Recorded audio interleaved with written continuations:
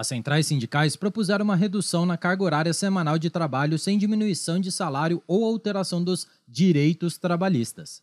A proposta soa tentadora. Quem não gostaria de mais tempo livre ganhando a mesma coisa? Este é o Visão Libertária, sua fonte de informações descentralizadas e distribuídas. Ajude a propagar as ideias de liberdade, deixe seu like e compartilhe com seus amigos. Um artigo seu pode virar vídeo aqui também, sabia? Esse artigo foi sugerido por Los Coelhano, escrito por Reverendo Isaías Lobão, revisado e narrado por Coreia com K. O projeto de lei 1115 de 2023, de autoria do senador Weverton, do PDT do Maranhão, defende uma semana de trabalho de quatro dias sem qualquer impacto salarial. Em sua pressa característica, centrais sindicais lançaram manchetes efusivas afirmando que a nova lei reduz a carga horária mantendo o salário integral. Ainda afirmam que, ao ser aplicada na Islândia, essa medida impulsionou a economia do país. Mas essa visão simplista ignora deliberadamente as complexas engrenagens que movem a produtividade e o crescimento. As implicações econômicas e sociais de tal medida vão muito além das simplificações otimistas dos sindicatos.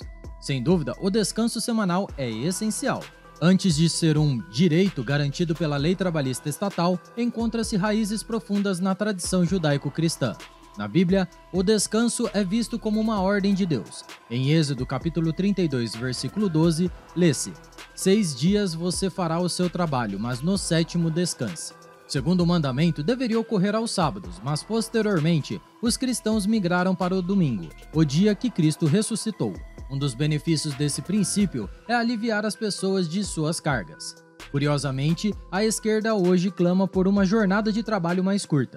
Porém, já defenderam o contrário. Em 1793, durante a Revolução Francesa, o matemático Gilbert Home criou um calendário de semanas de 10 dias, chamados de decâmeros. O objetivo era eliminar os domingos e feriados cristãos e, em seu lugar, instaurar um modelo mais racional. Entretanto, o modelo, ao prolongar o trabalho e reduzir o descanso, gerou grande desgaste e insatisfação popular. Isso demonstra mais uma vez a estupidez do intervencionismo de cima para baixo no direito natural das pessoas. Os líderes sindicais promovem a ideia de que a redução da jornada faz parte de um movimento global de adaptação do modelo de trabalho, defendendo que a redução nas horas trabalhadas reflete uma visão mais humana e sustentável. Contudo, há uma falha lógica nessa tese. Eles estão discutindo salário, emprego e tempo de trabalho sem considerar a produtividade. Como bem observou o economista Henry Hazlitt, citação: Discutem-se salários e empregos como se não tivessem relação alguma com a produtividade e a produção, na suposição de que haja uma só quantidade fixa de trabalho a ser feito. A conclusão a que se chega é que uma semana de 30 horas proporcionará mais empregos e, portanto, será preferível a uma semana de 40 horas. Tolera-se confusamente uma centena de processos de sindicatos trabalhistas que visam obrigar a dar trabalho. Fim da citação. Entre os entusiastas da estúpida proposta de redução do horário de trabalho, destaca-se o senador Paulo Paim do Partido das Trevas, o PT.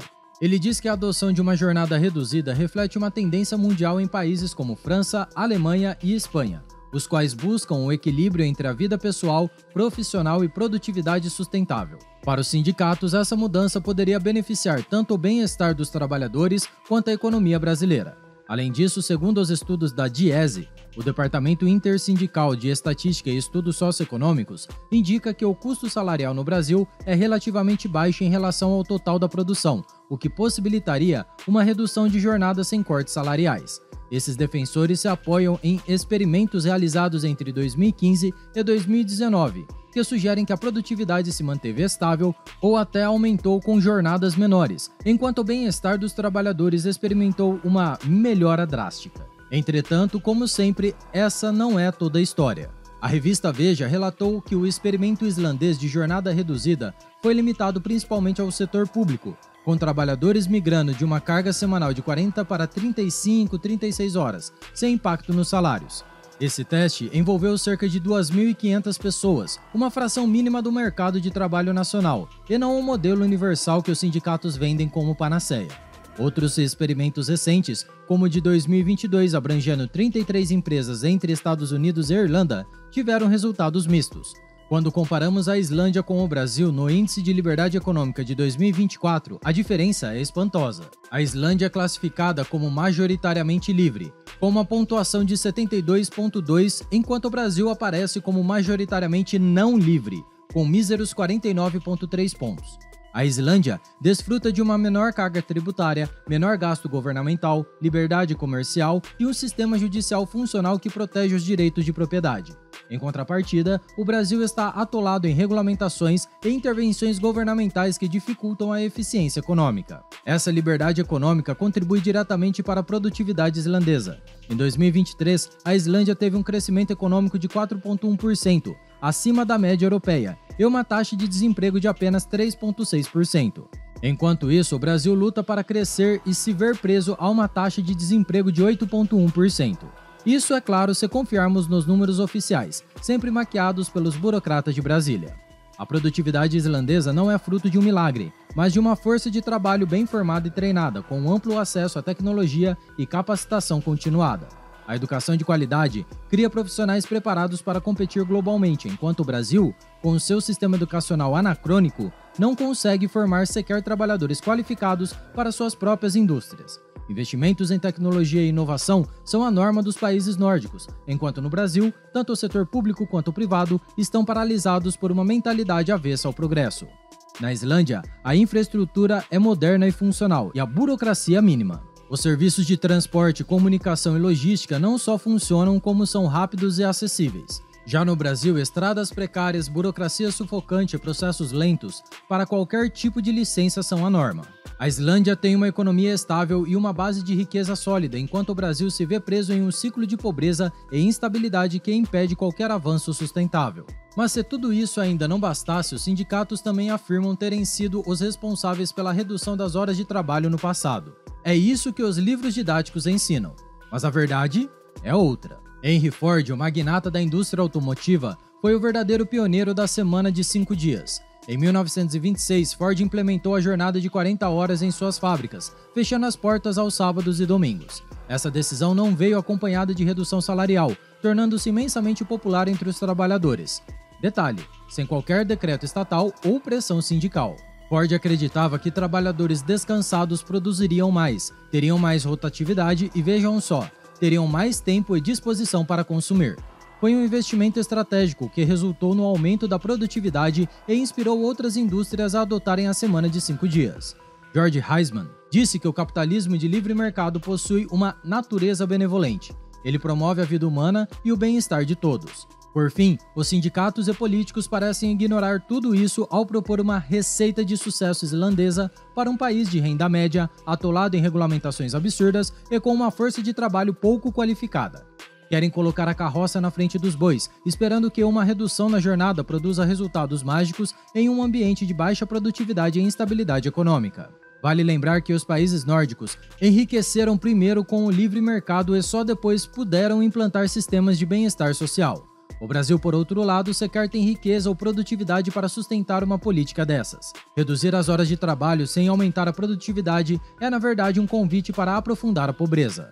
Em um ancapistão, é bem provável que teríamos empresas que adotassem semanas de quatro dias de trabalho, bem como aquelas que os colaboradores teriam que trabalhar todos os dias.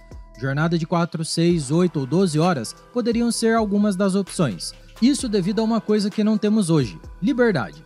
Sem regras ditadas por um terceiro, tanto o empregado quanto o empregador podem definir a carga horária de trabalho, isso se houver uma. Existem algumas áreas, como a de tecnologia, que não há motivos para se pedir para o trabalhador ter uma determinada carga horária semanal. O que importa é que o projeto esteja finalizado na data prevista. Se os desenvolvedores trabalham das 8 às 18 com 2 horas de almoço, ou das 10 da noite às 6 horas do dia seguinte sem pausa só tomando Monster, é eles que decidem. Outras áreas como telemedicina o médico poderia ganhar por atendimento, tendo uma quantidade mínima de tempo que teria que ficar com o paciente. Por ser via internet, os casos seriam mais simples e não graves, podendo atender várias pessoas em pouco tempo. Em suma, quem decide se as pessoas irão trabalhar 6, 15 ou quantas horas quiser é o mercado e a produtividade. Se a diminuição ou afrouxamento das horas semanais trabalhadas significar maior produtividade, isso será implementado nas áreas e nas empresas em que isso se mostrar verdadeiro, sendo o inverso também uma verdade. Entretanto, aquelas empresas que conseguirem encontrar um equilíbrio entre folga, trabalho e salário, com toda certeza serão as mais procuradas. Contudo, isso só será possível em um ambiente com mais liberdade, sem um Estado enfiando o nariz onde não é chamado. Obrigado pela audiência. Esse é um canal colaborativo. Participe você também. Cadastre-se agora mesmo no site visãolibertaria.com e envie seus artigos por lá. Os colaboradores recebem recompensas em Bitcoin. Inscreva-se no canal e clique no botão da campainha para ser avisado de novos vídeos. Até a próxima, fiquem com Deus e tchau, obrigado.